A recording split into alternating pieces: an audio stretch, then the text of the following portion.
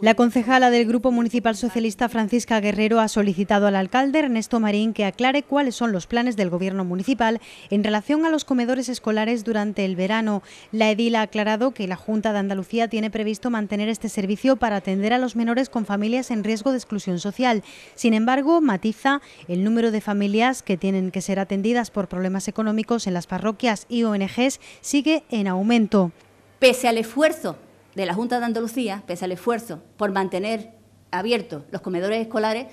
y viendo que la demanda de, niños sigue, sigue porque están aumentando, nosotros queremos decirle a este equipo de gobierno que forma el PP y el PURE qué van a hacer,